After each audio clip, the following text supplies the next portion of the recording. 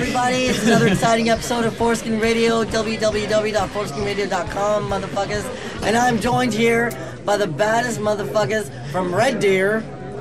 What's your name, people? Sex party. Sex party. Newest thing a to the West Coast. name. So you, you just got you guys just moved from uh, Red Deer to Vancouver. Yeah. Uh, yeah. Just Red Deer is crazy. It's not not into weirder music. That's Yeah, for sure. yeah, we, we Right. played there a whole bunch, and yeah, But there's lots of cool people. Lots of cool people. the people but there's great. a lot more here.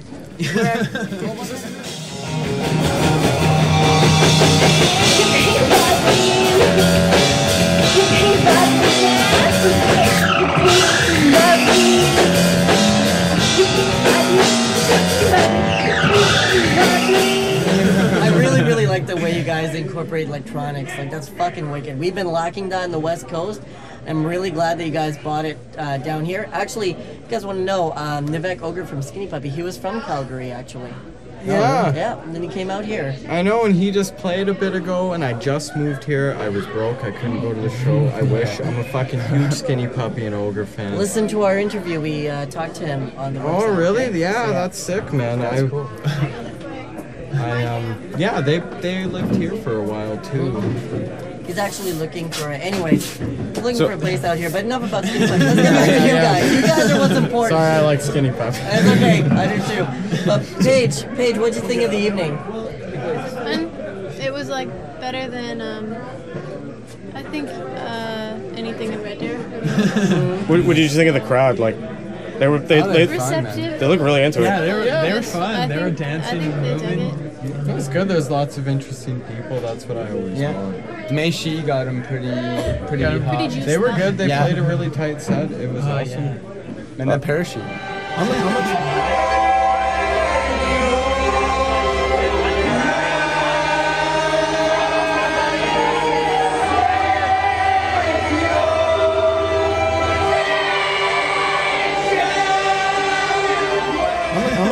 How much sex appeal do you guys need to put on stage? Like, do you have a quota or anything? Or you just like like I don't it has even to be know. sexy. It, depen- it depends Or- on the day. Yeah, Depends on the day, the amount of liquor and drugs, or whatever was going on. Sometimes there's a lot more. Sometimes it's bad. Tonight we really started tried to not drink so much. Oh really? Yeah. Well, we you were ended up on we the were floor. Why playing were you so on the chill. floor? I, did, I missed that. You were on the floor at one point. Yeah, you left your I was- keyboards, and- I was um. or were you playing with the I pedals was playing. or something? I was playing Yeah, this wave generator that his dad gave him. Because his dad's into electronics. and um, yeah, basically you just adjust a pitch with the machine and do whatever you want.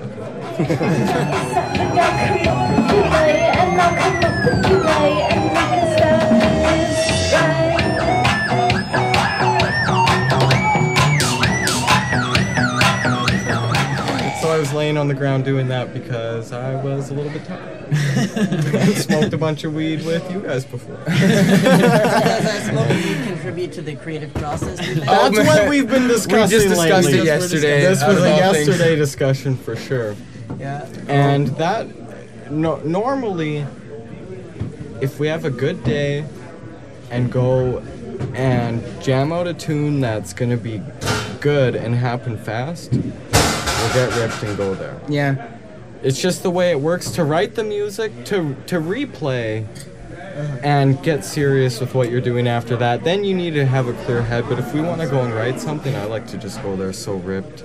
yeah. Except I'm uh, um out on the weed as of late. He is doing binaural experiments right now. Yeah. now. Lighting sound machine, other things, you know. Yeah.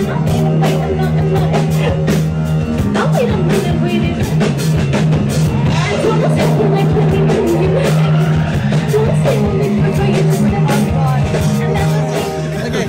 But when you have like a band that like you know, kind of goes sober, you notice a change in their sound. Oh yeah, for Oh yeah.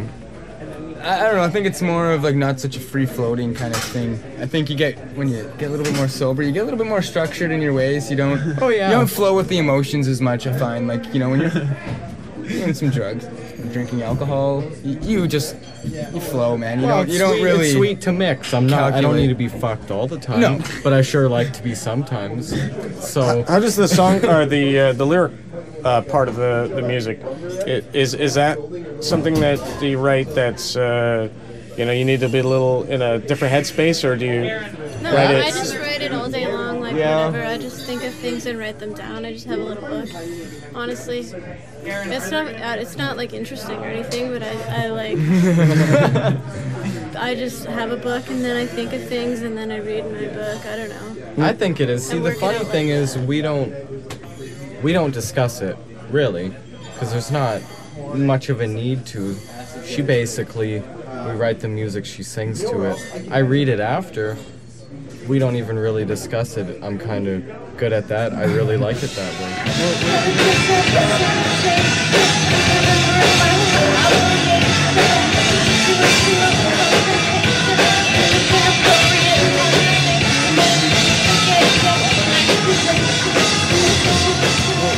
Keep her own private part to it, and I can just enjoy it.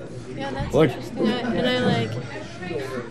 I didn't even know what Jason was saying or anything in any of it until I think like I read it in the CD booklet. All right. We don't talk any. So like you just get together in a room and, and you bang out the music and then you do you, do you search for the right lyrics to find you know the right you know Don't search for anything. no you just whatever happens happens yeah. and you're like and song I mean, like, it's not like we're not diligent. Like, I mean, we're there three to four days Yeah. a week doing whatever. But I mean, it's not like, not like, we "Oh, really I get intense about it. Let's Yeah, just. Yeah, I don't need to sit and talk with her about it. I'm um, enjoyed enough that someone it's else can fun. listen to it, and so can I separately. It doesn't need to Right. Yeah. become some.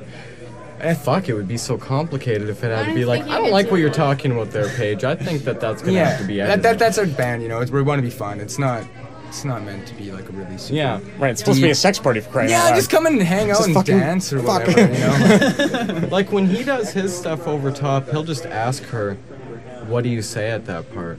And then she'll just say it, and then he just puts whatever. His Kinda brain along is the- so along the fucking same everywhere. lines. It I don't know, mine don't really make sense very much. Yeah. I'm trying to do something about that, but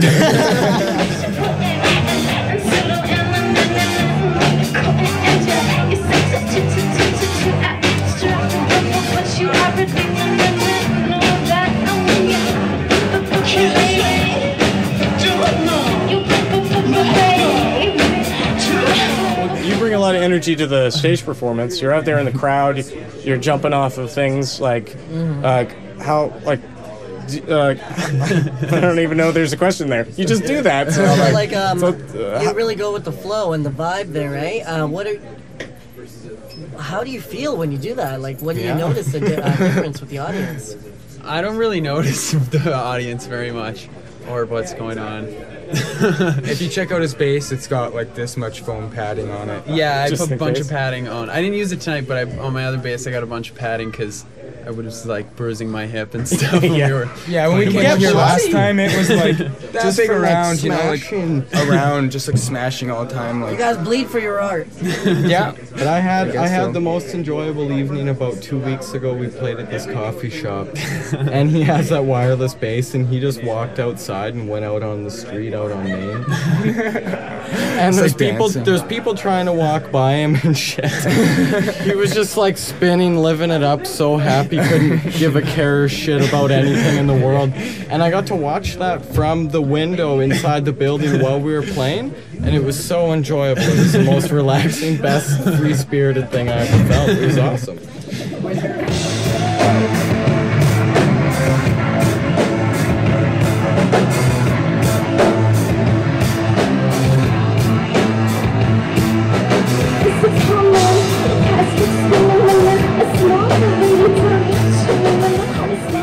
So bad to get so wasted before an interview, hey? Isn't Okay. it? no, it's, it's cool. That this kind of goes bring with the flow of what we do. People have just arrived here, so we're uh, going to be cutting out Yeah. now. Dr. Logalotopus of Foreskin Radio with the crew, Sex Party. Wave them goodbye, motherfuckers. Bye. Thanks for listening. Are we, uh, what? Play more music, cause it's awesome!